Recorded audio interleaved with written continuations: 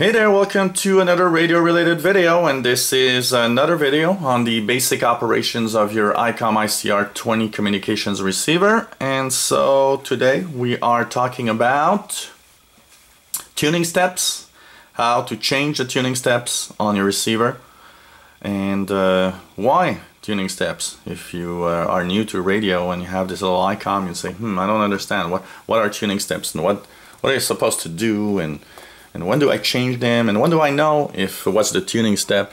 Uh, these are all you know legit, legitimate questions for a newbie.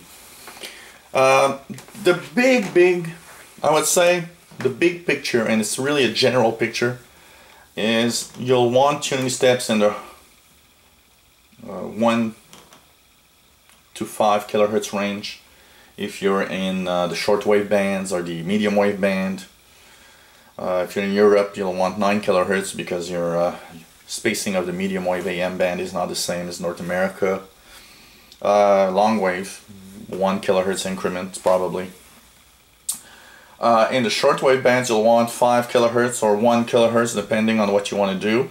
But uh, if you're listening to single sideband signals, you'll actually want to go uh, really precise into 100 hertz or 10 hertz so that you really really can tune precisely on the signals. In the VHF range the most of the frequencies are in 5 kilohertz increment but there are new spots now with 12.5 kilohertz. There was a uh, change of uh, channel space on the different VHF UHF ranges. And so um, these actually changed a little bit. Uh, before VHF signals were only 5 kilohertz apart now they are 5 and 12.5. Uh, of course the air band, the airplane band is 25 kilohertz spacing. And in the UHF range, uh, you'll probably want to have 12.5 kilohertz spacing, which is basically the spacing of most of the UHF bands. But of course, uh, maybe you've seen in some videos uh, when I tune uh, amateur radio satellites, for example, um, I've used a very, very precise 10 hertz or 100 hertz spacing because these signals are much much narrower and need to have the precision of the tuning. So uh, if you you know go on Google and type uh, UHF VHF uh, channel spacing or tuning steps you'll probably go come across frequency lists with the different spacings available uh, they are interesting because if you scan with the radio, uh, having the right frequency step will actually help you scan signals better uh, because you'll always be on the frequency when it stops. Uh, if you don't, if you use an awkward spacing, you'll actually be off frequency uh, a lot of the time. So um, these are things that are important, but you know, uh, you'll learn as you uh, use the radio and uh, if you're new well you know just like I said Google channel spacing and VHF UHF and you'll have lists of frequencies and there's natural spacing that you should use. Now how do you change the tuning steps of the radio? Well first of all you know the tuning step just by going to the upper right dial button and if you turn it clockwise you see that here it changes one kilohertz increment. So that channel spacing is 1 kilohertz at this time. How do I change that? Maybe I want to have ultra precise 10 hertz. What do I do? Well, here you go. You've got the little TS button here, which is tuning step, right above the 9 button. So you press the 9 key and hold. And here it says on the display, it will say set tuning step and you will see that depending on the tuning when you turn the right dial button you will actually clockwise put tuning steps that are higher. And you see here all the way to 100 kilohertz. Or if you want to go precise and go in the hertz range go counterclockwise and we'll go down to 0.1 or 0.01 kilohertz and you notice that when you get really precise, a new set of numbers appear on the display, showing you that you are actually tuning more precisely. And to confirm that step, all you have to do is do a quick press on the 9 button. And here you are tuning at 10 Hertz. Now maybe you want to tune um, UHF frequency. So we'll enter, for example, 450 megahertz commercial band.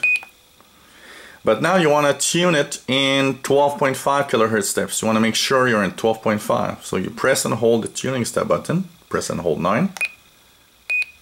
And it's already set here, but if it's not set, you'll turn your dial button to actually go to 12.5 kilohertz and then a quick press on the 9 again and it's official and if you tune with your right dial button you'll see that it goes in 12.5 kilohertz spacing which is pretty much what you want in that range so this is interesting because you'll be tuning around actually the uh, bands at the precise step that you want and if you don't want that step you can actually tune the band in other types of steps that are available in the radio on the tuning step range.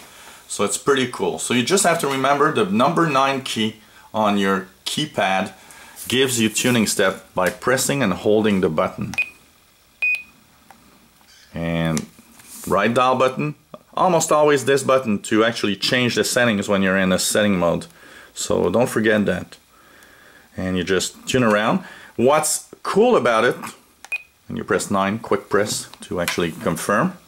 And what's cool about this radio is that it remembers the tuning steps that you've put before on different ranges. So if, for example, you were in uh, 1 kilohertz steps in the HF band, 12.5 uh, kilohertz steps in the UHF, and uh, 6.25 in the VHF range, the radio will actually remember all the steps that you've chosen on all the bands and that's really really cool because you don't have to enter the steps every time. So this was a little tutorial on tuning steps. Hope that you understood and that you understood how to actually put those tuning steps in your radio.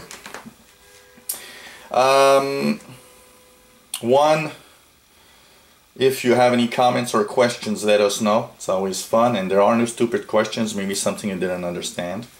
And uh, hey, if you like these videos, click the subscribe button and you'll be informed when we have new videos online. There's going to be a complete manual for the ICOM ICR20 here. So it's going to be really neat video manuals on how to use your radios. So I hope you enjoyed these uh, videos and uh, that you actually uh, continue uh, watching our channel, the ICOM ICR 8500 and R20 uh, channel. So great two, two great radios that are being uh, covered here on this channel. So thanks for watching 73s.